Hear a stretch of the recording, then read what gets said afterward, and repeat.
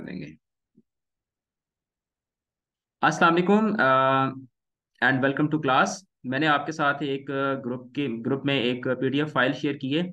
उसका मैं आपको बताता हूँ कि उसको आपने क्या करना है। Basically that is for the activity जो कि हम क्लास के एंड पे करेंगे। और उसके लिए वो जो फ़ाइल मैंने आपके साथ शेयर की है मैं आपको बताऊँगा कि आपने उसको किस तरह कंसल्ट करना है और जो एक्टिविटी मैं आपको असाइन करूँगा, उसको आपने किस तरह से कैरी आउट करना है, ठीक है? तो आज हम इस तरह करेंगे कि ये वाली जो फ़ाइल है ये भी मैं आज आपके साथ शेयर कर दूँगा, ताकि आप इसको डे टू डे कंसल्ट करते रहें और इसी फ़ाइल को हम लोग फॉलो करते हुए जो सारी ग्रामर है, उसको हम गो थ्रू करेंगे, ठीक है? तो कल हमने नाउन्स को डिस्कस किया था और प्रोनाउंस जो हैं, उसमें जो बेसिक प्रोनाउंस हैं उनको हमने डिस्कस किया था, उसमें जो इम्पोर्टेंट या जो मोस्ट कॉमनली यूज़ जो प्रोनाउंस हैं, जिनको हम मोस्टली अपनी डेली रूटीन में राइटिंग के अंदर यूज़ करते हैं, उनको आज हम डिस्कस करेंगे और इसके अलावा भी प्रोनाउन की कुछ टाइप्स जो हैं, उनको हम लोग डिस्कस करेंगे। और मैं साथ साथ आपको एग्जाम्पल्स जो हैं, वो साथ साथ सेंटेंसेस जनरेट करके एग्जाम्पल्स आपको दूँगा ताकि आपको लेक्चर जो है वो अच्छे तरीके से समझ आए। मैं ये भी कर सकता हूँ कि सारी एग्जाम्पल्स लिख, लिखी भी हों, वो भी, उस तरह की फाइल्स भी मेरे पास मौजूद हैं, वो वाले नोट्स भी मौजूद हैं कि जिसमें एग्जाम्पल्स ऑलरेडी गिवन है। लेकिन मैं वो वाली फाइल्स कंसल्ट नहीं करूँगा, मैं आपके सामने लाइव एग्जाम्पल्स जनरेट करूँगा, ताकि आपको बेहतरीन अंदाज में जो ग्रामर का कॉन्सेप्ट है वो समझ आए।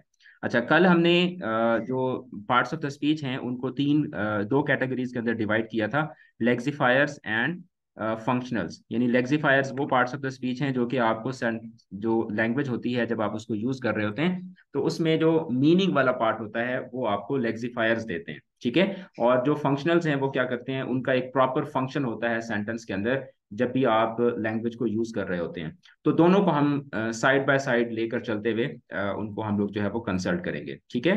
तो आपने बस मेरे साथ जुड़े रहना है और जहाँ पे आपको कोई कंफ्यूजन हो तो आपने मुझसे पूछ लेना है अपना जो चैट बॉक्स है उसको यूज़ करते हुए, ठीक है? तो जो आपके साथ मेरा इंट्रैक्शन होगा वो चैट बॉक्स के थ्रू होगा। माइक ओपन करने की तरफ़ हम लोग नहीं जाएँगे अनटिल अनलेस अगर आपका सवाल मुझे समझ नहीं आ रहा होगा या आप अपना सवाल मुझे समझा नहीं पा रहे होंगे चैट बॉक्स के थ्रू तो फिर मैं आपका माइक ओपन करूँगा और आप माइक के थ्रू जो है वो मुझसे बातचीत कर सकते हैं। इनिशियली हम इस तरह से चलेंगे, फिर नेक्स्ट वीक में हो सकता है कि मैं आप लोगों को, जब क्लास का एक रिदम बन जाएगा तो उसके बाद हो सकता है कि मैं आप लोगों के माइक भी ऑन कर दिया करूँगा, ताकि आपने जब भी मुझसे बात करनी हो तो आप अपना माइक ऑन करके तो मुझसे जो भी आपने सवाल पूछना हो आप मुझसे पूछ सकें। अच्छा अब नॉर्मली होता ये है कि पार्ट्स ऑफ़ द स्पीच जो है उनको एक ट्रेडिशनल वे में पढ़ाया जाता है। लेकिन मैं क्या करूँगा कि मैं ट्रेडिशनल वे में आपको जो ग्रामर है वो पढ़ाने की बजाय मैं आपको थोड़ी थोड़ी जो चीज़ें हैं जो लेटर ऑन जाके हमारे काम आएँगी, वो मैं आपको साथ साथ उनका कॉन्सेप्ट जो है वो समझाता जाऊँगा ताकि जो चीज़ें आप पढ़ रहे हैं, वो ज़ाया ना हो और वो उनका एक कॉन्सेप्ट जो है वो आपके ब्रेन के अंदर वो कॉन्सेप्ट कॉन्सेप्ट की सूरत में, एक होता है कि आप जो चीज़ पढ़ रहे होते हैं, उसको आप इंफॉर्मेशन की सूरत में अपने ब्रेन के अंदर, अपने माइंड के अंदर आप उनको स्टोर करते हैं। और इन्फॉर्मेशन जो होती है ना, वो स्लिप हो जाती है आपके ब्रेन से। लेकिन जब आप किसी भी चीज़ को कॉन्सेप्ट की सूरत में अपने ब्रेन के अंदर स्टोर करते हैं तो वो हमेशा के लिए फिर वो आपके ब्रेन के अंदर सेफ़ रहती है। उसको आपको बार बार बार बार रिवाइज नहीं करना पड़ता, उसको आपको बार बार रट्टे नहीं लगाने पड़ते, या उसी चीज़ को, एक ही चीज़ को आपको बार बार बार बार आके उसको रिवाइज या उसको याद नहीं करना पड़ता। तो हम लोग क्या करेंगे, हम लोग, मैं आपको इन्फॉर्मेशन भी प्रोवाइड करूँगा, मैं आपको इन्फॉर्म भी करूँगा कि अच्छा ये टाइप्स हैं, ये चीज़ें इस तरह से होती है, ये उस तरह से होती है, जो ट्रेडिशनल वे होता है। लेकिन हम उसको एक कॉन्सेप्ट सूरत में लर्न करने की कोशिश करेंगे। अच्छा होता ये है कि ये सारे के सारे जो पार्ट्स हैं ना, जैसे कल मैंने आपको एग्जांपल दी थी कि चाय बनाने के लिए या एक बिल्डिंग बनाने के लिए या आप कोई भी काम कर रहे होते हैं तो उसके लिए आपको हिस्से चाहिए होते हैं। अब दो चीज़ें होती हैं जो इंपॉर्टेंट होती है। लेट सपोज़ आपने चाय बनानी है। तो चाय बनाने के लिए आप बाज़ार से सामान इकट्ठा करेंगे, आप पत्ती लेकर आएँगे, दूध लेकर आएँगे, पानी इकट्ठा करेंगे, आप गैस का बंदोबस्त करेंगे या आग का बंदोबस्त करेंगे देगचा आप एक लेकर आएँगे या कैटल लेकर आएँगे या कोई पान आप अपने पास रखेंगे। लेकिन उसके साथ साथ जो सबसे बड़ा चैलेंज होता है, वो ये होता है कि भाई आप चाय बनाएँगे कैसे? क्या तरतीब होगी? कौन सा आप फार्मूला क्या तरतीब रखेंगे? पहले ऐसा तो नहीं है कि पहले आप जो है ना वो देगची के अंदर चीनी डाल के उसको गर्म करते रहें और आप पत्ती बाद में डालें और दूध सबसे आखिर में डालें। तो आप, वो आपकी चाय नहीं बनेगी, वो मुरंडा बन जाएगा या कोई और वो चीज़ बन जाएगी, लेकिन वो चाय नहीं बनेगी। तो साथ ही साथ जो है, क्योंकि हमने, हमारा जो पर्पज़ है वो ये कोई हम सवाब की नीयत से तो पढ़ नहीं रहे अंग्रेज़ी। हम इसको पढ़ रहे हैं कि भाई हमें अंग्रेज़ी बोलनी आ जाए, हमें अंग्रेज़ी लिखनी आ जाए, हमने डिफरेंट तरह के टेस्ट देने होते हैं पेपर्स देने होते हैं, हमने बाहर जाना है या जो भी जिस जो इंसान जिस पर्पज के लिए भी ये ग्रामर का कोर्स कर रहा है तो उसका वो पर्पज पूरा हो जाए। तो पर्पज क्या है कि हमें इंग्लिश बोलनी आ जाए इंग्लिश हमें लिखनी आ जाए।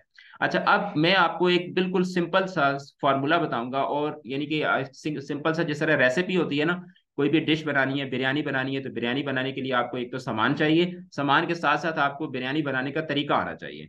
चाय बनानी है तो चाय बनाने के लिए आपको एक तो सामान का पता होना चाहिए और सामान के साथ साथ आपको चाय बनाने का तरीका पता होना चाहिए। तो लैंग्वेज भी इसी तरह से होती है। लैंग्वेज में एक तो आपको पार्ट्स ऑफ़ द स्पीच का पता होना चाहिए और उसके बाद आपको ये पता होना चाहिए कि भाई ये जो हम नाउन की डिफरेंट टाइप्स हैं या प्रो नाउन की डिफरेंट टाइप्स हैं या वर्ब की डिफरेंट टाइप्स हैं या एडवर्ब की डिफरेंट टाइप्स हैं एडजेक्टिव की डिफरेंट टाइप्स हैं। भाई हमने इनको करना क्या है? हमारे ये किस काम की हैं? ठीक है हमारे इनका मक, इनको याद करने का या इनकी सारी जो डिफरेंट टाइप्स हम पढ़ रहे हैं भाई नाउन की ये टाइप्स हैं प्रोनाउन की ये टाइप्स हैं वर्ब की ये टाइप्स हैं एडवर्ब की ये टाइप्स हैं। भाई हमने इनको क्या करना है? हमारे ये किस काम की हैं? तो बेसिकली होता यह है कि इंग्लिश लैंग्वेज के अंदर हर लैंग्वेज का अपना एक स्ट्रक्चर है। जिस तरह चाय बनाने का एक अलग तरीका है खीर बनाने का एक अलग तरीका है, गजरेला बनाने का एक अलग तरीका है। तो हर इसी तरीके से हर लैंग्वेज जो है, आप इस तरह समझे कि जिस तरह आप खाना बनाते हैं, खाने में आप 10-15 डिशेस बना रहे होते हैं तो इसी तरह से हर डिश बनाने का अपना एक तरीका है। तो इसी तरह बेटा दुनिया के अंदर जितनी भी लैंग्वेजेस हैं, हर लैंग्वेज का अपना एक, अपनी रेसिपी है। इन सिंपल वर्ड्स आप ये कह सकते हैं कि हर लैंग्वेज की अपनी एक रेसिपी है।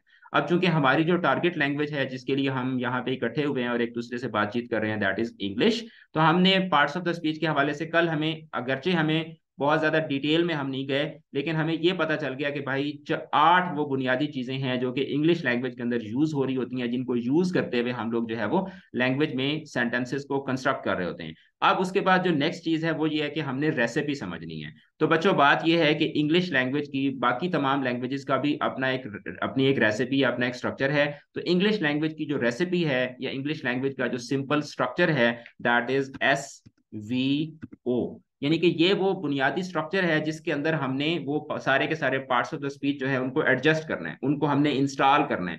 इस स्ट्रक्चर के अंदर आके हम उनको रखते जाएँगे और हमारा एक एक सेंटेंस जो है वो जनरेट होता जाएगा। तो यही सिंपल स्ट्रक्चर है एस वी ओ जिस बच्चे को एस वी ओ समझ आ गया कि अच्छा सब्जेक्ट आता है फिर वर्ब आता है फिर उसके बाद ऑब्जेक्ट आता है जिसको ये समझ आ गई और जिसको पार्ट्स ऑफ़ द स्पीच की कुछ बेसिक्स जो है वो समझ आ गई तो समझे कि उसको 60 टू 70 परसेंट जो है वो लैंग्वेज उसको समझ आ गई और उसके बाद वो बच्चा जो है वो अग, अगरचे उसका उसका जो स्ट्रक्चर होगा, जब वो सेंटेंसेस बनाएगा, जब वो कोई पैराग्राफ लिख रहा होगा ऐसे लिख रहा होगा तो हो सकता है कि उसकी वोकेबलरी स्ट्रांग ना हो, लेकिन उसके सेंटेंसेस ठीक होंगे। अगर आपको एस बी ओ समझ आ गया, और उसके बाद आपको पार्ट्स ऑफ़ द स्पीच की जितनी जितनी बेसिक्स मैं आपको बताता जाऊँगा, अगर आपको उतनी उतनी बेसिक्स जो है वो समझ आ गई। अब एस बी हो एस बी ओ है क्या? That is basically subject verb and object अब सब्जेक्ट क्या होता है? सब्जेक्ट बेसिक बेसिकली होता है कि जो सेंटेंस के अंदर जो काम करने वाला होता है, जिसके हवाले से आप बात कर रहे होते हैं, हो सकता है कि वो काम कर रहा हो हो सकता है वो काम ना कर रहा हो, आप सिंपली उसके हवाले से बात कर रहे हैं, ठीक है? जैसे फॉर एग्ज़ाम्पल जब मैं कहता हूँ कि अली प्लेस क्रिकेट तो इसमें तो अली एक काम कर रहा है तो अली एक सब्जेक्ट है, ठीक है? लेकिन ऐसा भी हो सकता है कि मैं कह सकता हूँ कि अली इज़ सैड अली उदास है, अब इसमें कोई अली काम नहीं कर रहा Ali Ali is Ali is happy अब इसमें अली कोई काम नहीं कर रहा, या इसी तरह से मैं कहता हूँ कि अली इज़ क्लेवर अली बहुत चालाक है तो अब इसमें भी अली कोई काम नहीं कर रहा। तो इन सिंपल वर्ड्स जिसके हवाले से आप बात कर रहे होते हैं जिसके हवाले से आप पूरा सेंटेंस जनरेट कर रहे होते हैं वो चीज़ आपकी जो है दैट इज़ कॉल्ड सब्जेक्ट उसको हम क्या बोलते हैं? उसको हम सब्जेक्ट बोलते हैं। अच्छा फिर उस सब्जेक्ट के हवाले से वो वो, वो सब्जेक्ट कोई काम कर रहा है या उस सब्जेक्ट की कोई हालत है वो किसी सिचुएशन में है उस की वो जो हालत होती है या वो जो सिचुएशन होती है, जिस सिचुएशन के अंदर वो वर्ब वो सब्जेक्ट आपका मौजूद होता है, उसको उसको हम इंडिकेट करते हैं या उसको हम समझाते हैं या उसके हवाले से हम बातचीत करते हैं, किसको यूज़ करते हुए वर्ब को यूज़ करते हुए। अच्छा फिर ये जो ऑब्जेक्ट होता है ना ऑब्जेक्ट ऑप्शनल होता है। कुछ सिचुएशन में हम ऑब्जेक्ट यूज़ करते हैं, कुछ सिचुएशन में हम ऑब्जेक्ट यूज़ नहीं करते। वो सारी की सारी सिचुएशन आगे चल के मैं आपको जब समझाता जाऊँगा तो आपको समझ आती जाएगी। जिस तरह कल पार्ट्स ऑफ़ द स्पीच की तरफ़ जाने से पहले मैंने आपको लेग्जी क्लासिफायर और जो फंक्शनल्स हैं, उनका कॉन्सेप्ट बताया था। आज मैंने आपको सब्जेक्ट वर्ब एंड ऑब्जेक्ट का कॉन्सेप्ट बता दिया, जो कि आप पल्ले बाँध के अपनी जेब में रख लें या किसी जगह पे आप इसको महफूज करके किसी अलमारी में या किसी जगह पे आप अपने, क्योंकि आपका जो ब्रेन होता है ना, ये भी एक एक बैंक की तरह होता है। इसमें किसी भी जगह जगह पे जहाँ पे आपको जगह मिलती है, ये वाला कॉन्सेप्ट जो है अपने ब्रेन के अंदर इसको रख दें। क्योंकि हम वापस इसकी तरफ़ दोबारा आएँगे और फिर इसको हम जो है वो यूज़ करेंगे। तो ये एक मैंने आपको स्टार्ट में एक कॉन्सेप्ट दे दिया, अब हम चलते हैं अपने कन्वेंशनल लेक्चर की तरफ़।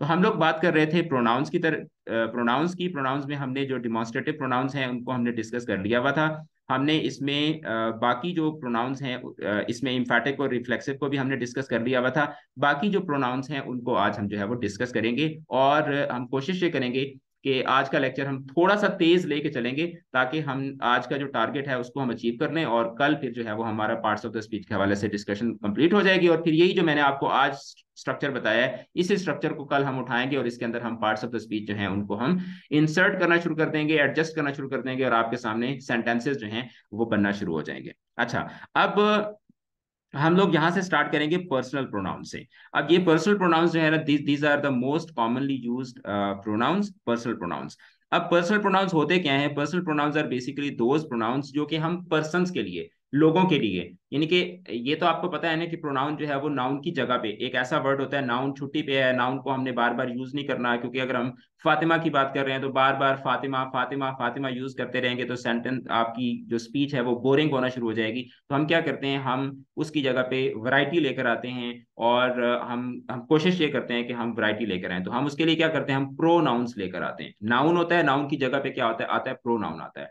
अब पर्सनल प्रोनाउंस जो है ना जैसे मैंने आपको ऊपर एस वी ओ बताया सब्जेक्ट वर्ब एंड ऑब्जेक्ट अच्छा अब सब्जेक्ट जो है ना, जैसे फॉर एग्जांपल मैं कहता हूँ कि Ali is my friend Ali goes to Karachi, Ali lives in Islamabad, Ali is a student Ali plays hockey Fatima washes dishes Fatima plays tennis board Fatima goes to gym या कोई भी मैं sentence बनाता हूँ तो उसमें हम क्या कर रहे होते हैं? उसमें जो सब्जेक्ट है ना सब्जेक्ट उसको बेसिकली हम क्या कर रहे होते हैं? हम उसमें जो सब्जेक्ट होता है ना उसको हम बोलते हैं नॉमिनेट नॉमिनेटिव नॉमिनेटिव कि वो नॉमिनेट आप उसको नॉमिनेट कर रहे हैं कि मतलब फॉर एग्जांपल अगर मैं कहता हूँ कि Fatima is my friend Fatima is my friend Fatima is my class fellow तो मैं किसकी बात कर रहा हूँ? इसमें नॉमिनेशन किसकी हो रही है? इसमें इंडिकेशन uh, किसकी हो रही है? तो obviously we are talking about Fatima right तो अब इसमें जो सब्जेक्ट होता है ना सब्जेक्ट उसको हम बोलते हैं नॉमिनेटिव ठीक है? और जो वर्ब होता है वो वर्ब होता है और जो ऑब्जेक्ट की जगह पे नाउन आए या प्रोनाउन आए उसको हम बोलते हैं एक्यूजेटिव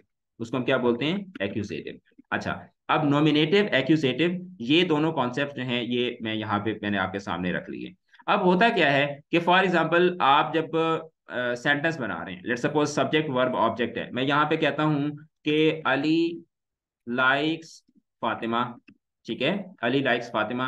अच्छा एक चीज़ मैं आपको स्टार्ट में बता दूँ। अक्सर बच्चे, मैं जब यूनिवर्सिटी में भी पढ़ा रहा होता हूँ तो बच्चे जो है वो मुझसे ये पूछते हैं कि, सर, आप जो है ना, वो मोस्टली मतलब अली, फातिमा, अबू बकर, उमर, इस तरह के वर्ड्स आप यूज़ करते हैं। तो मेरी कोशिश ये होती है कि जब मैं ग्रामर पढ़ा रहा हूँ तो ग्रामर में बजाय इसके कि हम लोग जो है वो डेविड और इस तरह के वर्ड्स हम यूज़ करें, मेरी कोशिश ये होती है कि मैं सहाबा के नाम इस्तेमाल करूँ। तो उस, उसमें ये होता है कि उससे आपकी नीयत साफ़ हो जाती है कि आप वो सहाबा का नाम यूज़ करते हुए आप सेंटेंसेस बना रहे हैं तो आप सेंटेंसेस अच्छे बनाते हैं, आपकी नीयत साफ़ रहती है और आपको होता है कि आप एक जो है वो प्रॉपर एक लर्निंग एनवायरनमेंट में है। ठीक है तो इस तरह के सेंटेंसेस मोस्टली मैं मेरी कोशिश ये होती है कि मैं जो मुस्लिम नेम्स हैं उनको यूज़ करते हुए सेंटेंसेस बनाऊँ। अच्छा अब मिसाल के तौर पर हमने सेंटेंस बनाया अली लाइक्स फातिमा।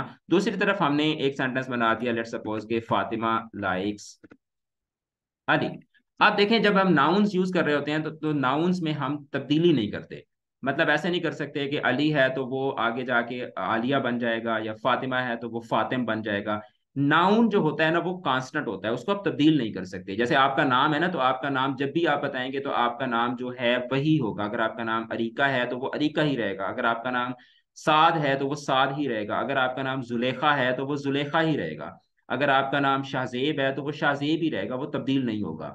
चाहे आप खाना खा रहे हैं, या आप किसी को खाना खिला रहे हैं तो आपका जो नाम है, वो नाम आपका वही रहेगा। लेकिन होता यह है कि जब हम प्रोनाउंस में आते हैं ना तो प्रोनाउंस में ये होता है कि डिफरेंट सिचुएशंस पे हम डिफरेंट प्रोनाउन यूज़ करते हैं। ऐसा नहीं है कि अली के लिए एक ही प्रोनाउन होगा और उसको हम जब जब भी हमने अली की जगह पे यूज़ करना होगा तो हम वही एक ही प्रोनाउन यूज़ करेंगे। ऐसा नहीं है, ठीक है? अच्छा एक्यूजेटिव का मीनिंग क्या है? एक्यूजेटिव का मीनिंग मैं आपको बाद में बताता हूँ, ठीक है? जब आप, मैं यहाँ पे सेंटेंस सेंटेंसेस बनाना शुरू करूँगा तो आपको खुद ब खुद जो है वो समझ आना शुरू हो जाएगी। अच्छा अब जो नाउन्स होते हैं ना, उनकी हमारे पास फर्दर हम चलते हैं। नाउन जो होते हैं ना वो तो सिंपल होते हैं। लेकिन होता यह है कि बाज दफ़ा बाज दफ़ा हम नाउन को फ़र्स्ट पर्सन में यूज़ कर रहे होते हैं। अब जब हम नाउन से प्रोनाउन पे आते हैं नाउन से प्रोनाउन पे आते हैं तो हमारे पास सिचुएशंस बनती हैं कितनी? तीन। पर्सनल प्रोनाउंस है ना, वो तीन तरह के होते हैं। अच्छा पर्सनल प्रोनाउंस कितने तरह के होते हैं? तीन तरह के। फ़र्स्ट पर्सन ठीक है? Second person and third person third person first person and second person and third person जब मैं अपने बारे में बात कर रहा हूँ ना, अपने बारे में, अपने बारे में लेट सपोज़ मैं अपने बारे में कोई बात कर रहा हूँ तो उसके लिए जो मैं स्ट्रक्चर यूज़ करूँगा ना, वो फ़र्स्ट पर्सन का होगा फ़र्स्ट पर्सन का। अच्छा अब इसी तरीके से अगर मेरे सामने कोई जिस, एक बंदा बैठा हुआ है, जिससे मैं बात कर रहा हूँ तो वो सेकंड पर्सन होगा। लेकिन अगर मैं सेकंड पर्सन से किसी दूसरे बंदे के हवाले से बात कर रहा हूँ, ठीक है, जैसे मिसाल के तौर पर आपको मैं बता रहा हूँ, मैं आपके साथ बात कर रहा हूँ और मैं आपको कहता हूँ कि मैं बहुत चालाक हूँ मैं बहुत होशियार हूँ, मैं बहुत मैं बहुत उदास हूँ, ठीक है? या मैं आपको कहता हूँ कि मैं एक लड़का हूँ, मैं एक लड़का हूँ, मैं अपने बारे में बात कर रहा हूँ। तो अब इसमें क्या है कि स्पीच जो है ना स्पीच वो फ़र्स्ट पर्सन स्पीच है कि I am the first person who is talking I am the I am the person who is initiating this discussion मैं वो बंदा हूँ जो कि इस गुफ्तगु को शुरू कर रहा हूँ तो I am the first person अब जब मैं आपसे बात कर रहा हूँ और मैं कहता हूँ कि आप बहुत अच्छे हैं, आप बहुत अच्छे हैं, आप बहुत शरीफ हैं आप बहुत मेहनती हैं, आप बहुत अच्छा काम करते हैं, आप वक्त पर आते हैं, आप अपना काम करते हैं, आप ईमानदार हैं। तो अब मैं आपसे बात कर रहा हूँ तो you are the second person आप सेकंड पर्सन है। लेकिन अगर मैं बात तो आपसे कर रहा हूँ, लेकिन किसी तीसरे बंदे की बात कर रहा हूँ, जैसे मिसाल के तौर पर मैं आपको कहता हूँ, अली मेरा दोस्त है। अब अली यहाँ पे मौजूद नहीं है, अली कहीं और है। तो अब अली जो है वो क्या होगा, वो थर्ड पर्सन होगा। So first person second person and third person ये जब आपको कॉन्सेप्ट समझ आ जाता है तो उसके बाद हम चलते हैं कि भाई फ़र्स्ट पर्सन के लिए जब हम प्रोनाउंस यूज़ करते हैं प्रोनाउंस यूज़ करते हैं तो वो कौन कौन से हम यूज़ करते हैं? अच्छा अब अगेन, फ़र्स्ट पर्सन के अंदर और सेकंड पर्सन के अंदर और थर्ड पर्सन के अंदर हमारे पास फर्दर दो दो पॉसिबिलिटीज होती हैं। कितनी कितनी पॉसिबिलिटीज होती हैं? दो दो पॉसिबिलिटीज। आपने मुझे साथ साथ मेरे साथ साथ रहना है, जब मैं आपसे पूछूँ कितनी पॉसिबिलिटीज है, ये क्या होता है तो आपने फ़ौरन से चैट बॉक्स को यूज़ करते हुए एक्टिवली आपने क्लास के अंदर पार्टिसिपेट करना है। अच्छा अब जो फ़र्स्ट पर्सन है, वो सिंगुलर हो सकता है। जैसे मैं मिसाल के तौर पर बात कर रहा हूँ तो मैं कहता हूँ कि मैंने आज ये किया मैंने खाना खाया मैं बाज़ार गया आ, मैं खेलता रहा मैं सोया रहा। अच्छा इसी तरीके से ये भी हो सकता है कि जब मैं बात कर रहा हूँ तो मैं सिर्फ़ अपनी बात नहीं कर रहा बल्कि अपने साथ कुछ चार पाँच और लोग हैं उनकी भी बात कर रहा हूँ। तो मैं कहूँगा कि हमने ये किया हम ये चाहते हैं हम आज छुट्टी करेंगे हम पढ़ेंगे हम मेहनत करेंगे हमारा पाकिस्तान है हम इसको संभालेंगे हम इसके लिए मेहनत करेंगे हम इस मुल्क को डूबने नहीं देंगे। तो अब first person I am talking लेकिन मैं बाकी तमाम के बिहाफ पे बोल रहा हूँ तो जो फ़र्स्ट पर्सन है, वो क्या हो सकता है? वो प्लूरल भी हो सकता है। इसी तरीके से सेकंड पर्सन मैं बात कर रहा हूँ तो हो सकता है मेरे सामने एक बंदा हो जिससे मैं बात कर रहा हूँ, और ये भी हो सकता है कि एक से ज़्यादा लोग हो जिनसे मैं बात कर रहा हूँ। मतलब मेरे सामने एक लड़का बैठा हुआ है, एक बच्चा बैठा हुआ है, एक बच्ची बैठी हुई है तो मैं कह सकता हूँ कि आप, आपने काम लिखा है, आप घर बताकर आई हो आपने होमवर्क किया है, आपको समझ आ रही है। इसी तरीके से अगर पचास बच्चे हैं तो मैं कहूँगा कि आप क्या कर रहे हैं? आपको मेरी बात समझ आ रही है, आप पढ़ रहे हैं, आप मेहनत कर रहे हैं या नहीं कर रहे, आप खाना वक्त पर खाते हैं। तो सेकंड पर्सन में भी हमारे पास कितनी पॉसिबिलिटीज है? दो पॉसिबिलिटीज हैं सिंगुलर एंड प्लूरल उसके बाद थर्ड पर्सन अब जब हम बात कर रहे होते हैं तो हम एक बंदे की भी बात कर सकते हैं कि अली मेरा दोस्त है अली कराची में रहता है। अली के अबू की दुकान है मतलब हम अली के हवाले से बात कर रहे हैं। और मैं ये भी कह सकता हूँ कि अली और फातिमा कल आए थे और वो मुझे बता रहे थे। अब जारी बात है मैं एक बंदे की बात नहीं कर रहा, बल्कि मैं एक से ज़्यादा लोगों की बात कर रहा हूँ। मैं ये भी कह सकता हूँ कि कल हमारे रिश्तेदार आए थे। आज मुझे एक बच्ची बता रही थी कि, सर, हमारे घर गेस्ट आए हुए हैं। तो इसलिए मैं जो है ना वो क्लास नहीं ले सकूँगी। तो हम एक बंदे के हवाले से भी बात कर सकते हैं और एक से ज़्यादा लोगों के हवाले से भी हम बात कर सकते हैं, ठीक है? तो इसका मतलब ये है कि थर्ड पर्सन जो है, वो भी सिंगुलर हो सकता है और प्लूरल हो सकता है। अब होता यह है कि जब हम, जैसे मैंने आपको बताया कि जब हम नाउन्स यूज़ कर रहे होते हैं तो तब तो हम सॉलिड नाउन्स यूज़ करते हैं। हम अली कहेंगे या अली एंड फातिमा कहेंगे, अली एंड उमर कह देंगे ऑल द स्टूडेंट्स कह देंगे ऑल द क्लास कह देंगे। लेकिन जब हम प्रोनाउंस पे आते हैं तो प्रोनाउन में क्या होता है? प्रोनाउन में ये होता है कि हम नॉमिनेटिव केस में और नॉमिनेटिव केस में हम अलग अलग प्रोनाउंस यूज़ करते हैं और जैसे एक्यूजेटिव केस में भी हम क्या करते हैं? अलग अलग प्रोनाउंस जो होते हैं, वो हम यूज़ करते हैं। अच्छा अब सबसे पहले मैं यहाँ पे लिखूँगा फ़र्स्ट और यहाँ पे मैं लिखूँगा सेकंड ठीक है? और नीचे मैं लिखूँगा थर्ड ठीक है? ताकि आपको अच्छे तरीके से बात समझ आए। अब फिर मैं क्या करूँगा? फ़र्स्ट सेकंड थर्ड मैंने लिख दिया। अब मैं ये करूँगा कि फ़र्स्ट सेकंड और थर्ड के जो प्रोनाउंस हैं नॉमिनेटिव केस में जो यूज़ होते हैं, वो मैं आपको बताऊँगा।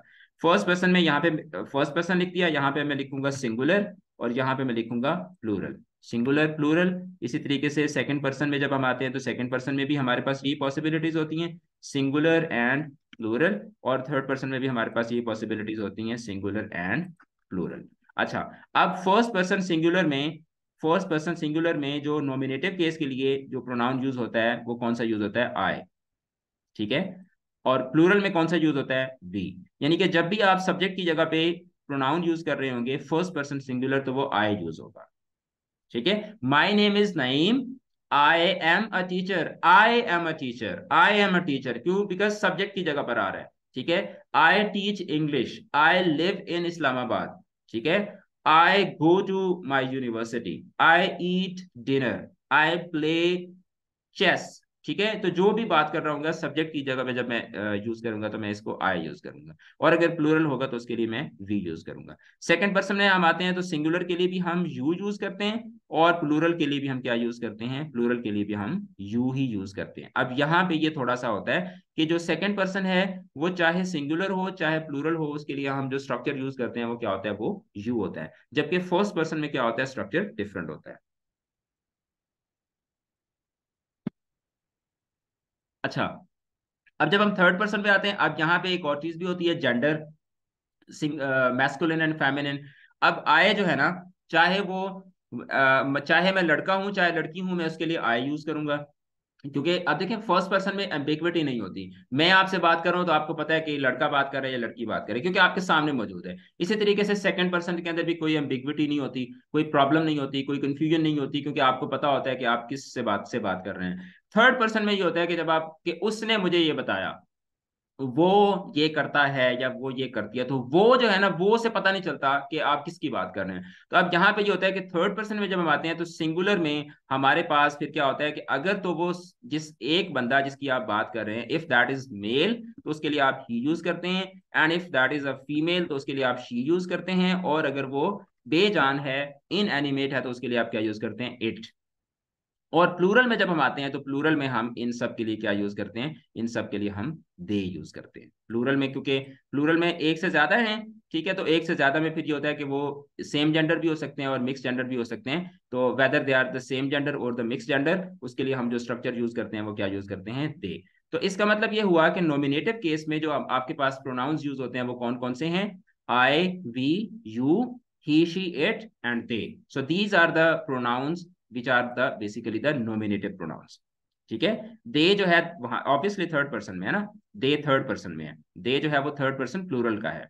अच्छा इट जो है हम इसको इम्पर्सनल uh, प्रोनाउन भी बोलते हैं। इट जो है इसको हम इम्पर्सनल प्रोनाउन भी बोलते हैं। अच्छा अब होता क्या है कि जब ये आए जो है ये जब एक्यूजेटिव केस में यानी कि ऑब्जेक्ट की जगह पे यूज़ होता है ऑब्जेक्ट की जगह पे तो फिर हम ऑब्जेक्ट की जगह पे आई यूज़ नहीं करते बल्कि हम क्या यूज़ करते हैं? मी यूज़ करते हैं। जैसे फॉर एग्ज़ाम्पल आपके क्या क्या कहेंगे कि मैं सिंपल यहाँ पे करूँगा कि I like the cat I like the cat और the cat likes me the cat likes I नहीं होगा.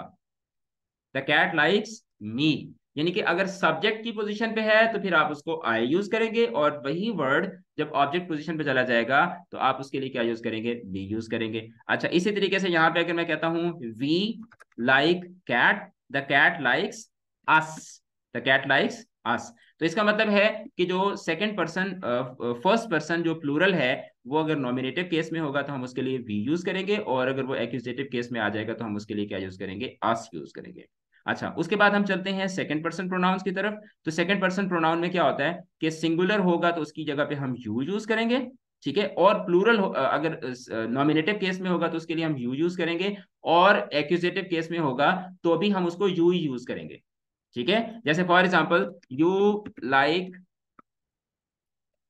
the cat and the cat likes you you like the cat the cat likes you अब you जो है, इसका structure change नहीं होता। You बेशक बेशक नॉमिनेटिव केस में हो, बेशक वो एक्यूजेटिव केस में हो, उसका स्ट्रक्चर जो है, वो क्या रहता है? वो सेम ही रहता है। अब यहाँ पे प्लूरल में भी ऐसा ही होता है कि बेशक वो सिंगुलर हो, बेशक वो प्लूरल हो, उसका जो नॉमिनेटिव टू एक्यूजेटिव जो उसकी जो चेंज है, उसमें किसी किस्म की कोई स्ट्रक्चर में तब्दीली नहीं आती। ठीक है? अच्छा उसके बाद हम चलते हैं जी थर्ड पर्सन प्रोनाउंस की तरफ़। तो थर्ड पर्सन प्रोनाउंस में क्या होता है? थर्ड पर्सन प्रोनाउन में ये होता है कि ही जो है he it becomes him he किसमें तब्दील हो जाता है? हिम में तब्दील हो जाता है जब ये एक्यूजेशन में जाता है। जैसे फॉर एग्ज़ाम्पल मैं सेंटेंस बनाऊँगा तो ये हो जाएगा कि ही लाइक्स द कैट और क्या हो जाएगा? The cat likes him he likes the cat and he the cat likes him अब इसमें देखिए द कैट जो है, ये सब्जेक्ट बन गया तो जब ऑब्जेक्ट की जगह पे वही उसी की, के हवाले से, उसी को जब हम ऑब्जेक्ट की पोजीशन पे लेके जाएँगे तो वो क्या बन जाएगा? हिम बन जाएगा।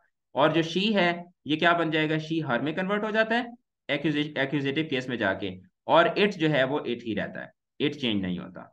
इट जो है, वो इट ही रहता है। और जो दे है, वो किसमें कन्वर्ट हो जाता है? दे कन्वर्ट हो जाता है दैम में। दे किसमें कन्वर्ट हो जाता है? दे दैम में कन्वर्ट हो जाता है। ये किसमें कन्वर्ट हो जाता है दम डैम में कन्वर्ट हो जाता है। यानी कि यहाँ पे अगर मैं इसी इसी स्ट्रक्चर को दोबारा से चेंज करूँ तो क्या होगा कि she likes the cat and the cat likes her ठीक है? अच्छा इसी तरीके से it likes the cat and the cat likes it अच्छा इसी तरीके से हो जाएगा कि they like they like the cat और the cat likes them the cat likes them so this is how we use the personal pronouns in accusative case yes they becomes them they becomes them so this is how we use the uh, nominative case and the, the uh, nominative pronouns and the accusative pronouns अब इसमें एक और चीज़ होती है and that is the possessive pronoun वो दरमियान में आते हैं दरमियान में एक स्ट्रक्चर आता है जिसको हम क्या बोलते हैं पोजेसिव प्रोनाउंस बोलते हैं अब पोजेसिव प्रोनाउन जो होते हैं ना वो थोड़ा सा ट्रिकी होते हैं उनको समझना थोड़ा सा थोड़ा थोड़ा सा थोड़ा सा ट्रिकी होता है। अच्छा अब नॉमिनेटिव नॉमिनेट नॉमिनेशन जैसे ना किसी को मुंतखब करना जैसे हम कहते हैं ना कि वो जी हमारा सदर नॉमिनेट हुआ है। ठीक है, हमने उसको नॉमिनेट कर दिया। इसी तरीके से जब आप जाते हैं इलेक्शन जब हो रहा होता है तो हम कहते हैं कि नॉमिनेशन पेपर सबमिट करवाने जा रहे हैं कागजात नामजदगी उसको बोलते हैं। अच्छा जी, फुलाना जो है, वो नामजद हो गया है। नामजद के मतलब कि उसको हमने स्पेसिफाई कर दिया है। ठीक है? आई होप कि एवरी वन नोज़ के नॉमिनेशन पेपर्स क्या होते हैं। जब ये सियासतदान जब इलेक्शन लड़ते हैं तो वो जाके जो जब पेपर सबमिट करवाते हैं कि मैं फुला कॉन्स्टिट्यूंसी से, फुला हल्के से मैं इलेक्शन लड़ूँगा तो वो उसको हम बोलते हैं नॉमिनेशन पेपर्स या उसको हम कागजात नामजदगी बोलते हैं। तो आपने एक बंदे को नॉमिनेट कर दिया। कि फुला जो है, वो फुला काम करेगा, या फुला के हवाले से हम बात कर रहे होंगे।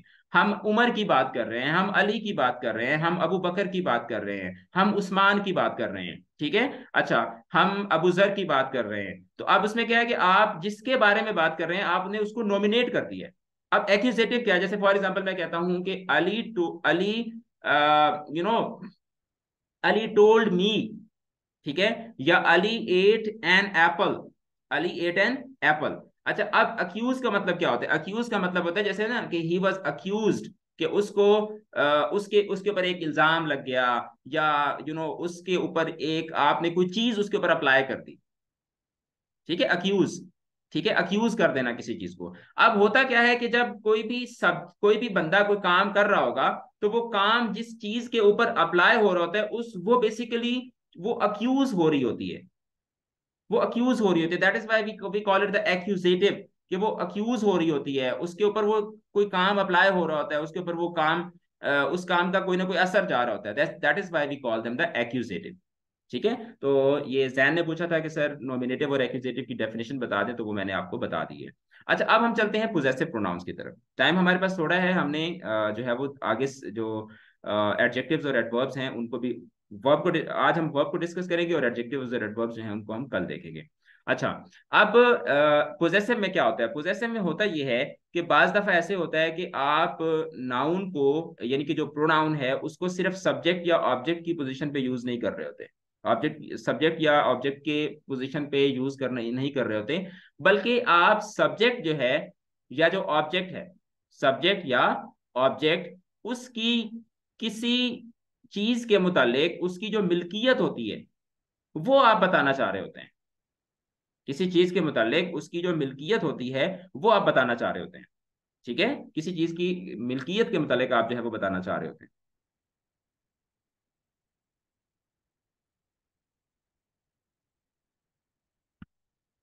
मिसाल के तौर पे। अब मैं यहाँ पे कहता हूँ कि जैसे for example my name is Naim या मैं यहाँ पे कहता हूँ, मुझे अपने नाम के स्पेलिंग भूल गए अच्छा अब ये एक स्ट्रक्चर है। अब इसी तरीके से मैं यहाँ पे कहता हूँ कि this car is mine this car is mine अच्छा my car is my car is fast ठीक है, या माई कार इज़ ब्यूटीफुल अच्छा इसी तरीके से मैं कहता हूँ कि आवर हाउस इज़ बिग या मैं कहता हूँ कि this house is ours this house is ours आप इसमें देखें कि मैं यहाँ पे ये वाला जो स्ट्रक्चर है दिस कार इज़ माइन अब ये जो माइन है आवर्स है ये बेसिकली ये क्या शो कर रहे हैं? ये ना तो सब्जेक्ट बन रहे हैं सेंटेंस के अंदर, ना ये ऑब्जेक्ट बन रहे हैं, बल्कि ये इस कार की पर्सनल पोजेशन को शो कर रहे हैं। कि ये मेरी कार है। तो जो मेरी, हमारी, उसकी, उनकी, ठीक है? तुम्हारी, तुम सब की तो ये वाले जो वर्ड्स होते हैं ना, हम इनको इनको जब यूज़ करते हैं तो they are called the possessive pronouns हम इनको क्या बोलते हैं? हम इनको पोजेसिव प्रोनाउंस बोलते हैं। अच्छा अब यहाँ पे पोजेसिव प्रोनाउंस जो है ना वो थोड़े से ट्रिकी होते हैं। पोजेसिव प्रोनाउंस होते हैं वो थोड़े से ट्रिकी होते हैं। अब चूँकि मैंने आपको एडजेक्टिव उस तरह से पढ़ाया नहीं है आज हमने एडजेक्टिव भी डिस्कस करना है। आ, अगर आपने मुझे टाइम दिया और आप ये सारी चीज़ें अगर आपको समझ आती गई तो इनशाला आज हम जो है वो एडजेक्टिव्स को भी डिस्कस करेंगे। और जब एडजेक्टिव्स की तरफ़ मैं जाऊँगा ना तो फिर मैं आपको जो पोजेसिव एडजेक्टिव और पोजेसिव प्रोनाउन इसका जो डिफरेंस होगा ना, ये मैं आपको तब उस टाइम पे बताऊँगा। फ़िलहाल आप सिर्फ़ इतना याद रखें कि जब हम इन प्रोनाउंस को पोजेशन शो करने के लिए यूज़ करते हैं तो उस वक्त ये क्या कहलाते हैं? ये पोजेसिव प्रोनाउंस कहलाते हैं। अब पोजेसिव प्रोनाउंस की मैं आपको कुछ एग्जांपल्स देता हूँ। जैसे this bag is this bag is his this bag is his ये उसका बैग है। ठीक है? अच्छा इसी तरीके से जब मैं कहता हूँ कि दिस कैट इज़ हर्स ठीक है? ये उसकी बिल्ली है, उस लड़की की बिल्ली है। अच्छा इसी तरीके से this this brush is mine this canvas is ours ये हमारा कैनवस है। अच्छा this book is theirs this book is theirs ये किताब उन लड़कों की है, ठीक है? या आप यहाँ पे कह सकते हैं कि suppose this this this ball is theirs अच्छा इसी तरीके से this this fan is yours yours अब देखें his hers mine ours theirs yours ये वाले जो प्रोनाउंस हैं they are called the possessive pronouns हम इनको क्या बोलते हैं? We call them the possessive pronouns no this is not इसमें डिमोस्ट्रेटिव प्रोनाउन भी यूज़ हो रहा है। अब इसमें ये जो दिस है that is a demonstrative pronoun लेकिन मैं, हम लोग यहाँ पे बात कर रहे हैं हिज की हर्स की माइन की आवर्स की देयर्स की योर्स की। ये ज़रूरी नहीं है कि एक सेंटेंस के अंदर सिर्फ़ एक ही प्रोनाउन आए। एक सेंटेंस के अंदर एक से ज़्यादा प्रोनाउंस भी आ सकते हैं। ठीक है? लेकिन हर प्रोनाउन अपना अपना काम कर रहा होगा। जिस तरह एक सेंटेंस के अंदर एक से ज़्यादा नाउन आ सकते हैं, इसी तरीके से अगर एक सेंटेंस के अंदर एक से ज़्यादा नाउन आ सकते हैं तो इसका मतलब है कि वो सारे के सारे नाउन फिर प्रोनाउंस के साथ भी रिप्लेस हो सकते हैं। तो इसका मतलब ये हुआ कि एक सेंटेंस के अंदर एक से ज़्यादा प्रोनाउंस भी मौजूद हो सकते हैं। ठीक है? अच्छा तो थोड़ा थोड़ा कॉन्सेप्ट जो है लेटर ऑन जब हम लोग सेंटेंस के स्ट्रक्चर के लेवल पे जाएँगे ना तो ये सारे के सारे कॉन्सेप्ट जो है, दोबारा से आपके जहन के अंदर रिवाइज होना शुरू हो जाएँगे। अच्छा तो उसके बाद कुछ ऐसे प्रोनाउंस होते हैं जो बड़े सिंपल होते हैं, जिनको जिनको सिर्फ़ आप याद कर लें, जिनकी शक्लें आप याद कर लें, बाद में जब हम सेंटेंसेस बनाना शुरू करेंगे तो आपको खुद ब खुद समझ आना शुरू हो जाएँगे। इंट्रोगेटिव प्रोनाउंस इंट्रोगेटिव प्रोनाउंस कौन से होते हैं, जो कि क्वेश्चन पूछने के लिए यूज़ होते हैं? जैसे what what is your name who is your friend अच्छा whom you were talking to अच्छा which is your favourite colour okay and whose is this bag अब ये इस तरह के जो प्रोनाउंस होते हैं, जो कि किसी भी नाउन के मुतालिक पूछने के लिए, किसी भी नाउन के मुतालिक सवाल करने के लिए यूज़ होते हैं they are called the interrogative pronouns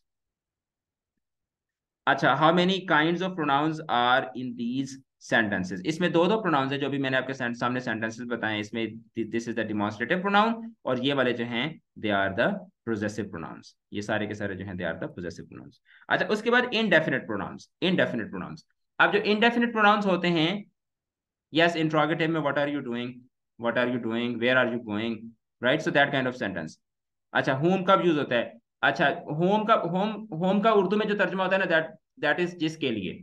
ठीक है, जैसे for example to whom to whom you were you are talking to ठीक है? किससे बात कर रहे थे आप? तो होम के साथ मोस्टली हम टू लगा के उसको यूज़ करते होते हैं। होम के साथ मोस्टली जो है नो होम आर दे नहीं, वो फिर होगा हु आर दे होम का मतलब होता है किससे, या जिस किसी को किस से या जिस किसी को इस स्ट्रक्चर में यूज़ होता है। वेरी लेस लाइकली बहुत कम इसको यूज़ किया जाता है, लेकिन इवन देन ये यूज़ तो होता ही है ना। इनडेफिनेट प्रोनाउंस इनडेफिनेट प्रोनाउंस वो प्रोनाउंस होते हैं जिसमें कोई डेफिनेट नहीं होती, कोई कोई चीज़ डिफाइंड नहीं होती। जैसे एनीथिंग ठीक है anybody anyone something जैसे I want something please give me something अब समथिंग जो है, ये ना तो नाउन है, लेकिन नाउन की जगह पे, जैसे फॉर एग्जांपल मैं जब कहता हूँ कि please give me please give me cup of coffee या प्लीज़ गिव मी बटर या प्लीज़ गिव मी टॉफी या प्लीज़ गिव मी पॉपकॉर्न तो अब पॉपकॉर्न की जगह पे मैंने क्या दिया प्लीज़ गिव मी समथिंग अब ये जो समथिंग है, इस, ये डिफाइंड नहीं है इनडेफिनेट है. समथिंग में कुछ भी आ सकता है. Somebody somebody told me. अब वो somebody में क्या है? Somebody कुछ, कोई भी हो सकता है। ठीक है? मैं ये कह सकता जब मैं कहता हूँ कि अली टोल्ड मी तो अली तो एक प्रॉपर एक नाउन है। या मैं जब कहता हूँ कि द गर्ल टोल्ड मी तो द गर्ल जो है, वो भी एक प्रॉपर एक कॉमन नाउन है, आपको समझ आती है कि अच्छा एक लड़की ने बताया है। इसी तरीके से जब मैं कहता हूँ कि she told me he told me they told me तो समझ आता है। लेकिन जब मैं कहता हूँ कि somebody टोल्ड मी तो somebody से समझ नहीं आता कि वो somebody कौन है। Someone टोल्ड मी अच्छा nothing is happening I saw nothing जब मैं कहता हूँ कि आई सॉ अ बर्ड तो अब I saw a bird bird जो है वो डिफाइंड है. I saw a car defined है. I saw a boy defined है. I saw something I saw nothing I saw nobody nobody nobody told me none is there no one is present तो अब ये वो pronounce हैं जो कि indefinite हैं जिसमें uh, चीज़ें जो है वो प्रॉपरली उस तरह से डिफाइंड नहीं है. या somebody accused her अच्छा this this is my book this book is mine which of these is demonstrative pronoun and demonstrative adjective and how do we identify अच्छा हमजा देखें अभी हमने adjectives पढ़े नहीं है लेकिन even then I'm going to answer your question अब इसमें जब आप कहते हैं ना this is my book तो my जो है that is a demonstrative adjective ठीक है ये हमजा का क्वेश्चन जो है मैं इसको कॉपी करके यहाँ पेश करता हूँ और यहाँ पे सबके साथ सबके सामने मैं इसको आंसर करता हूँ अब ये हमजा का क्वेश्चन था कि दिस इज़ माई बुक और दिस बुक इज़ माइन ठीक है? तो ये हमजा का क्वेश्चन था कि which of these is demonstrative let me take it up somewhere बल्कि मैं इसको टीचिंग uh, चार्ट पे ले जाता हूँ so that we can easily yes अब इसमें ये देखें कि दिस इज़ माई बुक तो ये इसमें माए जो है that is the demonstrative adjective why क्योंकि ये नाउन के बिल्कुल साथ जुड़ के आया हुआ है। जब ये वाले वर्ड्स नाउन के बिल्कुल साथ जुड़ के आते हैं तो they are called the demonstrative adjective जब ये नाउन से जुदा होते हैं, जिस नाउन के मुतालिक बात कर रहे हैं तो उस वक्त ये क्या कहलाते हैं? डिमोस्ट्रेटिव प्रोनाउंस कहलाते हैं। तो अब इसमें माइन जो है that is a demonstrative pronoun और माए जो है that is a demonstrative adjective अच्छा। उसके बाद हम चलते हैं नेक्स्ट हमारे पास होते हैं रिलेटिव प्रोनाउंस रिलेटिव प्रोनाउंस क्या करते हैं? रिलेटिव प्रोनाउंस बेसिकली सेंटेंस के अंदर पहले जिस नाउन के हवाले से बात आपने की होती है, उसी नाउन को फर्दर किसी सेंटेंस के साथ क्या करते हैं? जोड़ते हैं। That which whose whom where when अब इसमें जो है ना whose whom and who and which अब ये वाले वर्ड जो हैं, अब इसमें यहाँ पे प्रॉब्लम आती है कि ये as a as an interrogative pronoun भी यूज़ होते हैं और एज अ रिलेटिव प्रोनाउन भी यूज़ होते हैं। तो आपको कैसे पता चलेगा कि ये वर्ड जैसे हु है तो हु जो है वो कब इंट्रोगेटिव होगा, कब रिलेटिव होगा, कैसे आपको पता चलेगा? तो देखें, मैं आपको सिंपल से बताता हूँ। जैसे for example who is your best friend तो अब इसमें क्या पूछा जा रहा है? क्या हो रहा है इसमें? सवाल पूछा जा रहा है। सवाल आपने कहाँ से स्टार्ट किया? हु से। ठीक है? तो हु यहाँ पे क्या है? Who is basically a interrogative pronoun लेकिन जब मैं यहाँ पे इस तरह से लिखता हूँ कि the boy who wrote the essay is my classmate अब यहाँ पे हु जो है, ये क्वेश्चन पूछने के लिए यूज़ नहीं हो रहा। बल्कि इस नाउन का जो इस पूरी बाकी पार्ट ऑफ़ द सेंटेंस के साथ जो कनेक्शन है, उसको डिवेलप कर रहा है। तो अब यहाँ पे हु जो है that is being used as a relative pronoun that is being used as a relative pronoun ठीक है? यस रिलेट कर रहा है एग्जैक्टली. सेंटेंस के एक हिस्से को दूसरे हिस्से के साथ क्या कर रहा है रिलेट कर रहा है अच्छा इसी तरीके से जब मैं कहता हूँ कि that is my pen that is my pen वो मेरा पेन है तो अब यहाँ पे दैट जो है that is used as a demonstrative pronoun लेकिन जब मैं कहता हूँ कि the pen that I gave you was my favorite. जो पेन मैंने आपको दिया, वो मेरा पसंदीदा था अब मुझे ये बताएँ कि यहाँ पे अच्छा मैं आपसे एक सवाल पूछता हूँ। यहाँ पे दैट का क्या मतलब है? उर्दू में इसका क्या मतलब है? दैट इज़ माई पेन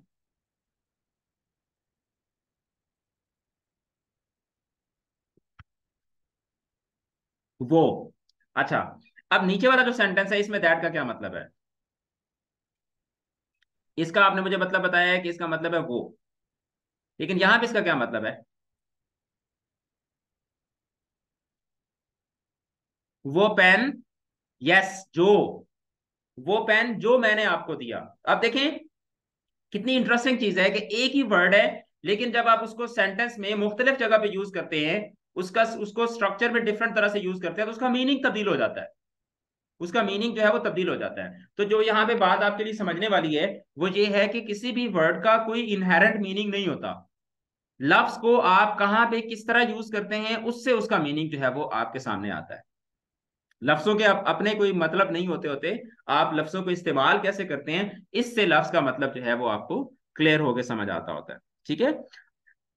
अच्छा उसके बाद हम लोगों ने रेसिप्रोकल प्रोनाउन रेसिप्रोकल क्या होते हैं? रेसिप्रोकल जिस तरह आप लोग ना मैथ के अंदर आप लोग रेसिप्रोकल कर, रेसिप्रोक्रेशन करते हैं ठीक है? यार इस इनको इन लोगों को रेसिप्रोक्रेट रेसिप्रोकेट कर लेते हैं ठीक है? रेसिप्रोकेट के जिसको आप वो क्रॉस मल्टीप्लीकेशन भी करते हैं यानी कि जब लेट सपोज़ दो बंदे हैं जो एक ही एक्शन को एक्सचेंज कर रहे हैं। एक ही एक्शन को क्या कर रहे हैं? एक्सचेंज कर रहे हैं। यानी कि ए जो है लेट सपोज़ मैं अगर आपको मैथ की टर्म्स में बताऊँ तो ए का जो रिलेशनशिप बी के साथ है, वही रिलेशनशिप बी का ए के साथ है। यानी ए बी के साथ जो चीज़ कर रहा है, वही चीज़ बी ए के साथ कर रहा है। तो आप क्या करते हैं? आप उसको सिंप्लीफाई कर देते हैं किस तरीके से? रेसिप्रोकल प्रोनाउन के, के थ्रू अब रेसिप्रोकल प्रोनाउन सिर्फ़ दो हैं each other and one another कितने रेसिप्रोकल प्रोनाउंस जल्दी से बताएँ। How many reciprocal pronouns do we have two very good very good two two reciprocal pronouns and they are one another and each other each other अब इनको use कैसे करते हैं, ये भी मैं आपको बताता हूँ, लेकिन उससे पहले मैं आपको रेसिप्रोकल का जो कॉन्सेप्ट है, वो मैं आपको समझा दूँ। अच्छा होता यह कि जैसे मिसाल के तौर पर मैं यहाँ पे कहता हूँ कि अली loves फातिमा फातिमा loves अली। ठीक है? अच्छा अब एक्चुअली हो क्या रहा है कि बजाय इसके कि आप ये कहें कि अली फातिमा से मोहब्बत करता है, फातिमा अली से मोहब्बत करती है, आप क्या कह देते हैं कि अली और फातिमा एक दूसरे से मोहब्बत करते हैं। अब यहाँ पे दो सेंटेंसेस बन रहे हैं ना। आपने कहा कि अली फातिमा से मोहब्बत करता है सेंटेंस नंबर एक। फिर आपने कहा कि फातिमा अली से मोहब्बत करती है सेंटेंस नंबर दो। दो सेंटेंसेस आपने बनाए। लेकिन जब आप कहते हैं कि अली और फातिमा एक दूसरे से मोहब्बत करते हैं तो उस सूरत में क्या होता है? उस सूरत में सेंटेंसेस कितने बनते हैं? एक। तो मुझे बताएँ कि दो सेंटेंसेस बनाना ज़्यादा ठीक है या एक सेंटेंस बनाना ज़्यादा ठीक है? ऑब्वियसली एक सेंटेंस बनाना ज़्यादा ठीक है ना? ठीक है? तो आप क्या करते हैं? आप रेसिप्रोकल प्रोनाउन जो है वो यूज़ करते हैं। तो आप क्या कहते हैं कि Ali and Fatima love each other Ali and Fatima love each other अच्छा अब मैं यहाँ पे आपको एक रूल समझाऊँगा और फिर मैं आपसे पूछूँगा कि वो रूल क्या है। अब आपने गौर से तवज्जो से आपने क्लास में बैठना है, ठीक है? Ali and Fatima love each other अच्छा अब उसके बाद क्या है कि the the students of this class the students of this class या मैं इसको और सिंपल कर देता हूँ ताकि आपको समझ आ जाए। अच्छा all the people in this city help one another. All the people in this city help one another इस शहर के तमाम लोग एक दूसरे की मदद करते हैं। अब मेरा आपसे सवाल यह है कि आप मुझे बताएँ कि ईच अदर कहाँ पे यूज़ होता है और वन अनदर कहाँ यूज़ होता है? दो रेसिप्रोकल प्रोनाउन है ना? ईच अदर कहाँ यूज़ होता है और वन अनदर कहाँ यूज़ होता है? जी, मेरा आपसे यह सवाल है। इन दोनों सेंटेंसेस को देखें, अपना ब्रेन इस्तेमाल करें और मुझे बताएँ कि ईच अदर कहाँ यूज़ होता है और वन अनदर कहाँ यूज़ होता है। जी। Very good very good when we are talking about two people दो लोगों की बात, दो लोगों के दरमियान एक एक्शन अगर रेसिप्रोकेट हो रहा है रेसिप्रोकेशन जो है, यानी कि तबादला जो है, वो दो लोगों के दरमियान होगा तो उसके लिए आप ईच अदर यूज़ करेंगे। When an action is being reciprocated between more than two more than two दो से ज़्यादा के लिए तो फिर उसके लिए हम क्या यूज़ करते हैं? उसके लिए हम वन एंड अदर यूज़ करते हैं। तो आपने फिर आज के बाद ये गलती नहीं करनी आ, कि आप जो है वो आ, दो से ज़्यादा के लिए भी आप ईच अदर यूज़ कर रहे हो। तो मतलब आप जब कहते हैं कि all the people in this city help each other तो वो फिर आपका क्या हो जाएगा? गलत हो जाएगा। ज़्यादा लोगों के लिए वन एंड अदर और दो लोगों के लिए हम क्या यूज़ करते हैं? दो लोगों के लिए हम जो है वो क्या यूज़ करते हैं? दो लोगों के लिए हम ईच अदर यूज़ करते हैं। अच्छा तो हमारी जो प्रोनाउंस के हवाले से डिस्कशन थी, वो हो चुकी है जनाब मुकम्मल। उसके बाद हम लोग मूव कर रहे हैं एडजेक्टिव्स की तरफ़। ठीक है? आज हम लोग एडजेक्टिव्स कर लेते हैं, क्योंकि नाउन और प्रोनाउन हमने कर लिया तो एडजेक्टिव कर लेते हैं। उसके बाद जब वर्ब पढ़ेंगे तो वर्ब के साथ ही फिर मैं आपको एडवर्ब पढ़ा दूँगा। अब एडजेक्टिव क्या करता है? एडजेक्टिव का एक बड़ा सिंपल सा सा फ़ंक्शन होता है एडजेक्टिव बेसिकली जो नाउन होता है या प्रोनाउन होता है, उसको, उसकी, उसके साथ एक क्वालिटी ऐड कर देते हैं। इन सिंपल वर्ड्स आप ये कह सकते हैं कि adjectives adjectives modifies adjective modifies a noun और अ प्रोनाउन यानी कि एक नाउन को या एक प्रोनाउन को क्या करता है? ये मोडिफाई करता है। ठीक है? इसलिए हम जो एडजेक्टिव्स होते हैं, इनको क्या बोलते हैं? एडजेक्टिव्स और जो एडवर्ब्स होते हैं adjectives and adverbs are also called modifiers modifiers क्योंकि ये क्या करते हैं? ये मॉडिफाई करते हैं। जैसे मिसाल के तौर पर मैं आपको सिंपल एक सेंटेंस बनाता हूँ। मैंने कहा कि the boy is reading a book the boy is reading a book अब मुझे ये बताएँ कि द बॉय जो है, ये कौन सा नाउन है? कॉमन नाउन है ना? The boy is a common noun and book is a book is also a common noun अब जब मैंने यहाँ पे कह दिया कि the the good boy the good boy is reading a book तो अब इस गुड ने क्या किया? अब मुझे बताया कि बॉय का पहले जो मीनिंग था, जब मैंने गुड नहीं लगाया था तो उस वक्त जो बॉय का मीनिंग था, अब जब मैंने इसके साथ गुड लगाया तो क्या जिस तरह आप कार्स को नहीं मॉडिफाई करवाते तो क्या बॉय का मीनिंग मॉडिफाई हुआ है? क्या बॉय के मीनिंग में कोई तब्दीली आई है? जब मैंने गुड लगा दिया साथ। तब्दीली हुई है ना? अच्छा इसी तरीके से जब मैंने कहा कि the the the good boy is reading a small book. अब जब बुक मैंने सिंपल बुक कहा था तो आपके जहन में कोई पता नहीं था कि कौन सी बुक है। तो अब जब मैंने स्मॉल कहा तो क्या बुक का मीनिंग तब्दील हुआ है? आपके जहन में जो बुक की अंडरस्टैंडिंग थी, वो तब्दील हुई है? अच्छा इसी तरीके से जब मैंने कह दिया कि the boy is reading an interesting book, अब अब मीनिंग तब्दील हुआ है बुक का? अच्छा इसी तरीके से मैंने ये कह दिया कि the the good hard working the good hard working boy अब बॉय का मीनिंग मजीद मॉडिफाई हो गया।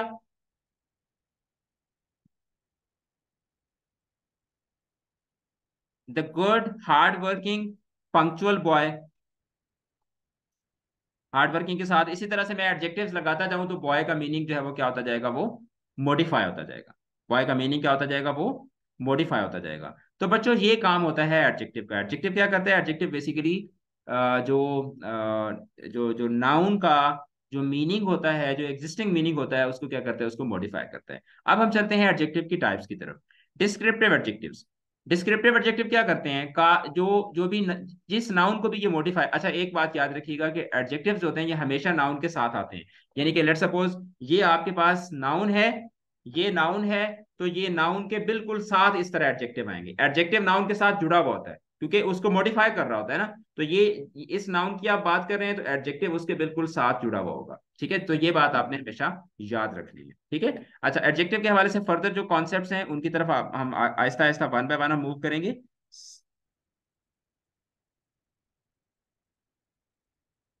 नहीं नहीं नहीं हार्ड वर्किंग वर्ब नहीं है।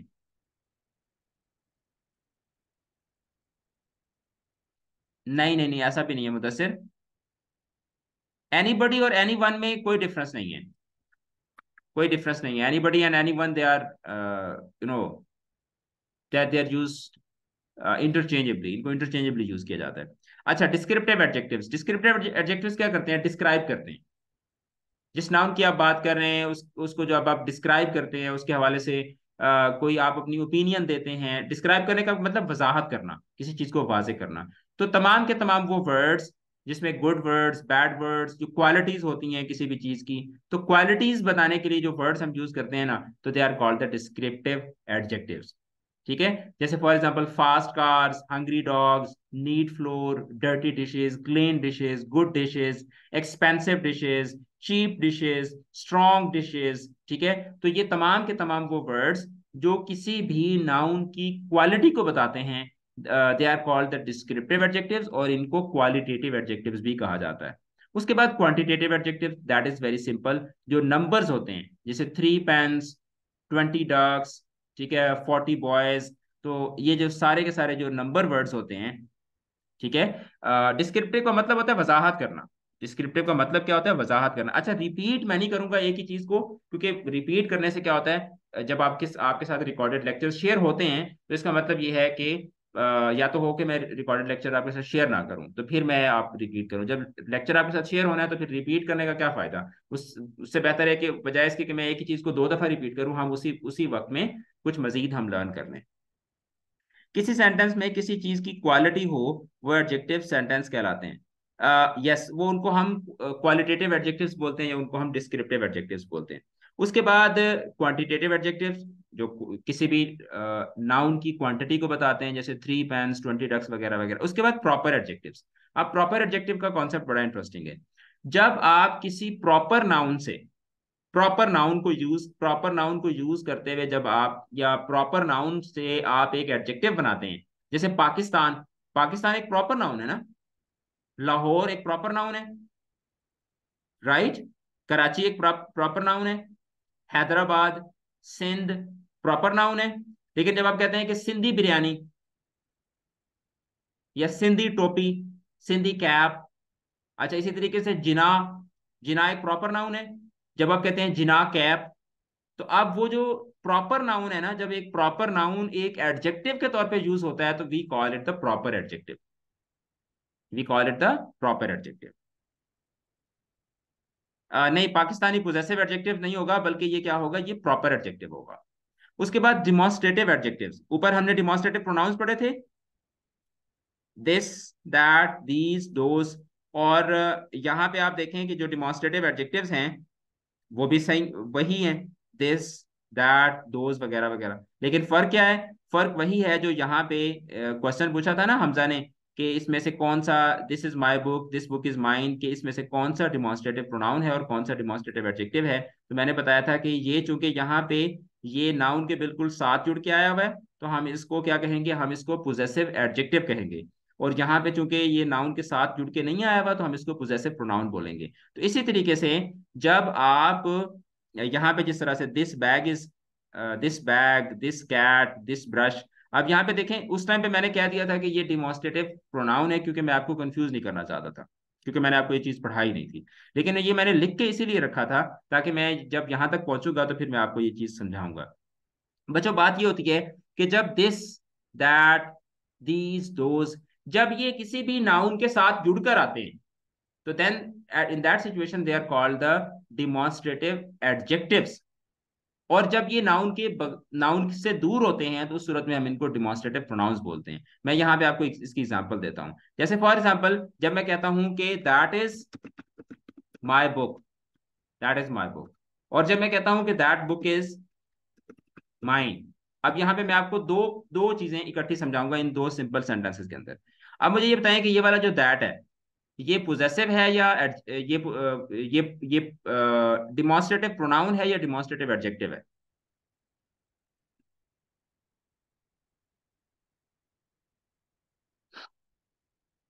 Yes that is a pronoun लेकिन यहाँ पे जो दैट है is is it demonstrative pronoun और डिमॉन्स्ट्रेटिव एडजेक्टिव एडजेक्टिव अब मुझे ये बताएँ कि ये वाला जो माए है, माए ये पोजेसिव प्रोनाउन है या पोजेसिव एडजेक्टिव है?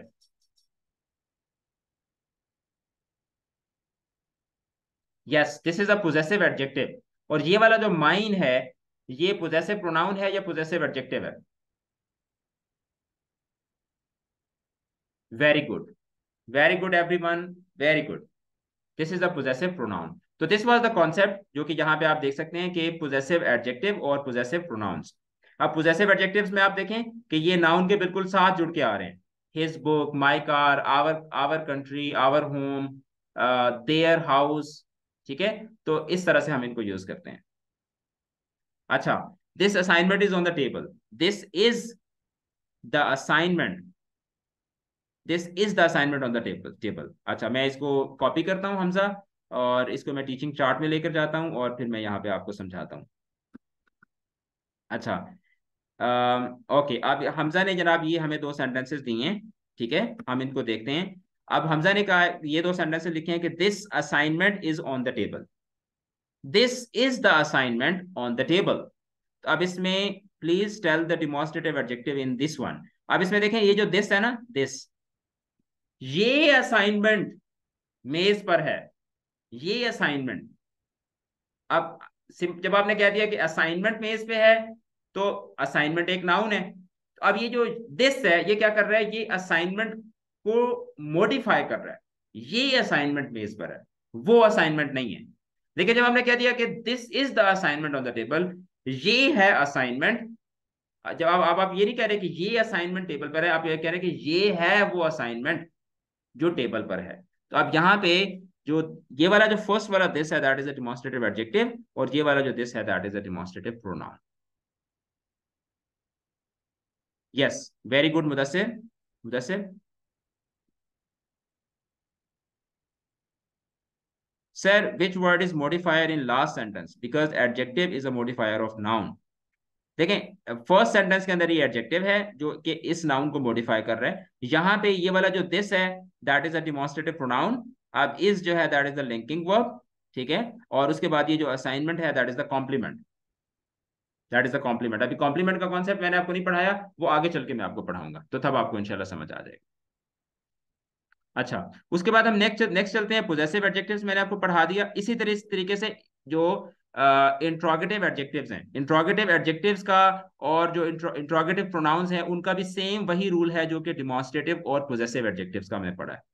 ठीक है? अब मैं आपके सामने यहाँ पे एग्ज़ाम्पल लिखता हूँ। ये इंट्रोगेटिव है ना? इंट्रोगेटिव अच्छा अब यहाँ पे मैं आपके सामने एग्जाम्पल्स लिखूँगा और आपसे पूछूँगा और आप भी मुझे बता रहे होंगे कि इसमें से कौन सा इंट्रोगेटिव प्रोनाउन है और कौन सा इंट्रोगेटिव एडजेक्टिव है। अच्छा what is your favourite dish dish is your favorite? acha and uh, which is the best shirt for the party. and which shirt is best for the part अब मुझे ये बताएँ कि यहाँ पे, इस सिचुएशन के अंदर, ये जो पहला वर्ड है, ये इंट्रोगेटिव प्रोनाउन है या इंट्रोगेटिव एडजेक्टिव है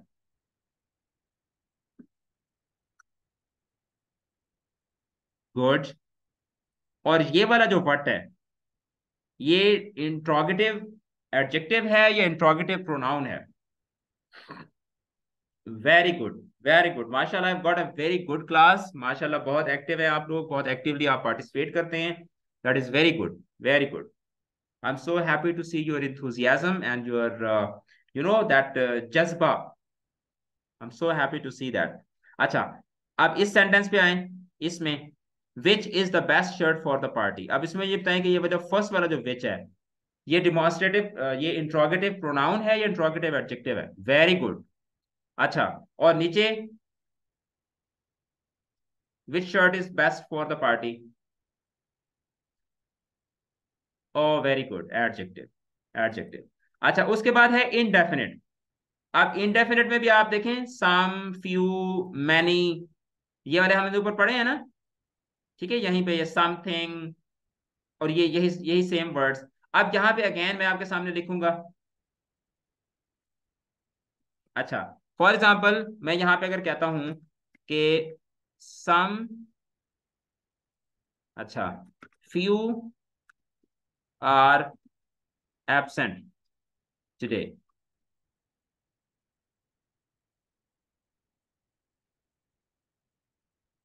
okay.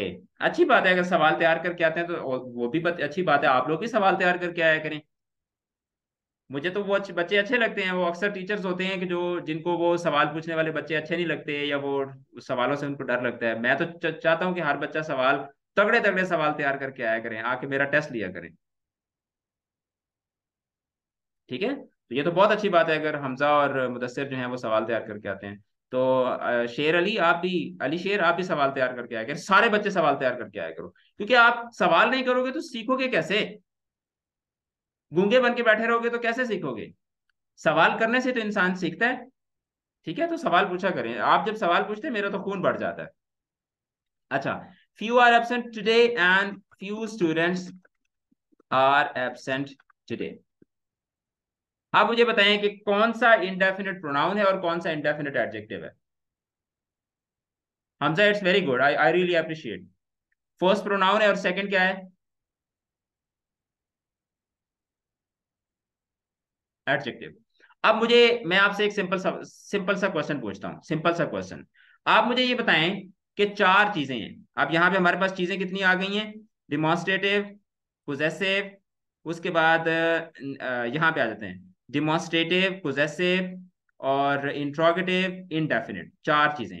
अब मुझे ये बताएँ कि डिमॉन्स्ट्रेटिव अच्छा स्पेलिंग अगर थोड़े से खराब हो तो आप इग्नोर कीजिएगा। पोजेसिव और इंट्रोगेटिव और इनडेफिनेट अच्छा मुझे ये बताएँ कि कैसे आपको पता चलेगा क्योंकि वर्ड सेम है।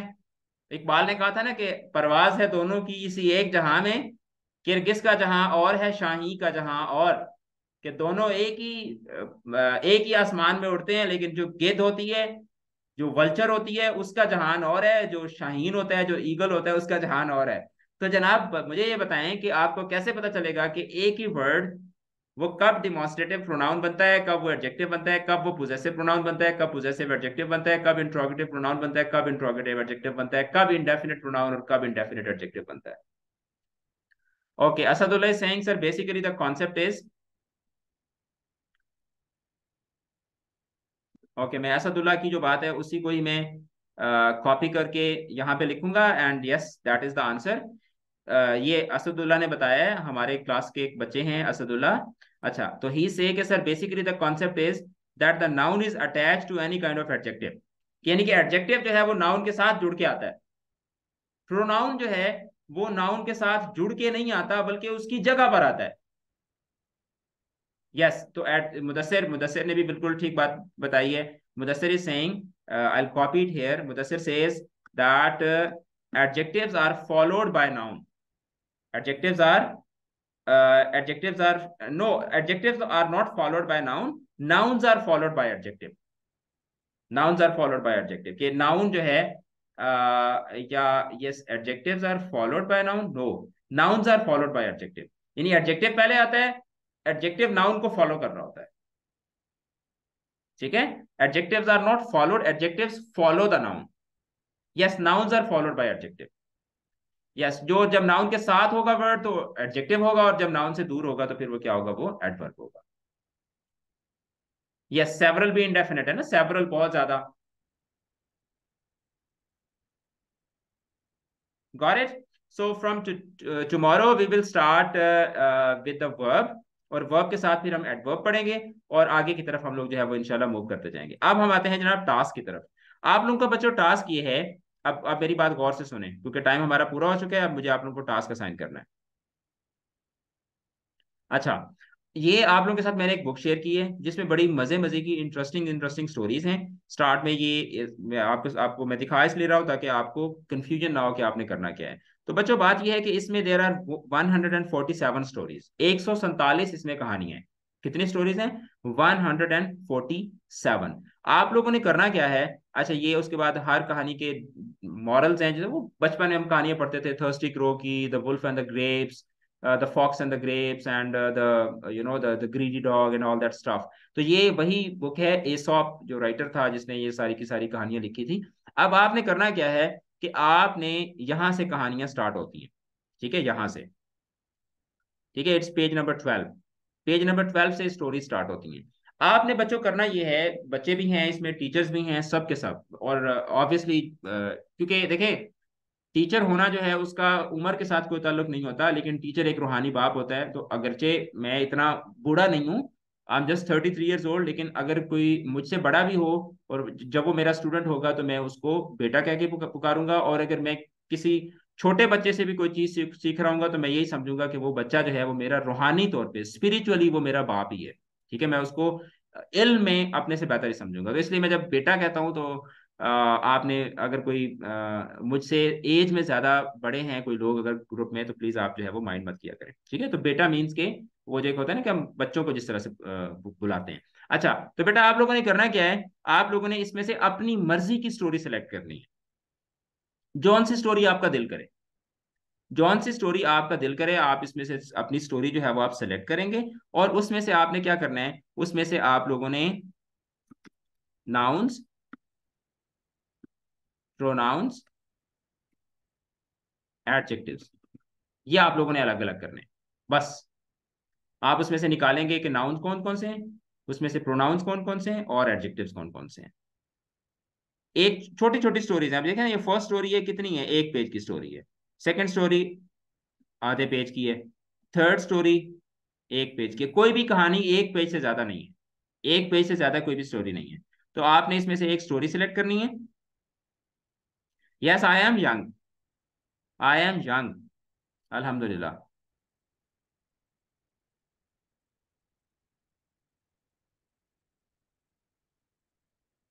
Okay okay. अच्छा आप लोगों ने सेंड नहीं करना। आप लोग कॉपी पे लिखेंगे। आप लोग अपनी अपनी कॉपी पे लिखेंगे उसका पीडीएफ बनाएँगे और वो पीडीएफ आप मुझे पर्सनल में सेंड करेंगे। कॉपी पे आप यहाँ से देखते जाएँगे पढ़ते जाएँगे आप नाउन्स की लिस्ट बनाएँगे प्रोनाउंस की लिस्ट बनाएँगे और इसमें से एडजेक्टिव्स की लिस्ट बनाएँगे। और आप वो मुझे जो है वो उसकी पिक्चर बना के और उसका आप, आप मुझे जो है वो व्हाट्सएप में सेंड कर देंगे। ठीक है? So that is your homework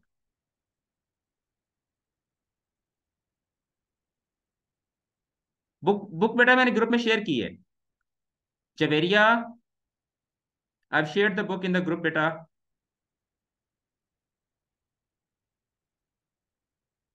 Manur बच्चे I share the book in the group go check the group group के अंदर ये बुक आपके साथ शेयर हो चुकी है। So that's that's that's it for today I hope कि द लेक्चर वाज गुड सबको समझ आया होगा अच्छे तरीके से। तो बेटा इसी तरह से मेहनत करते रहें और इनशाला we will continue this discussion tomorrow and take care of yourselves bye bye अल्लाह हाफिज अल्लाह हाफिज अल्लाह हाफिज have a good day have a good night have a good night अल्लाह हाफिज़ बाय बाय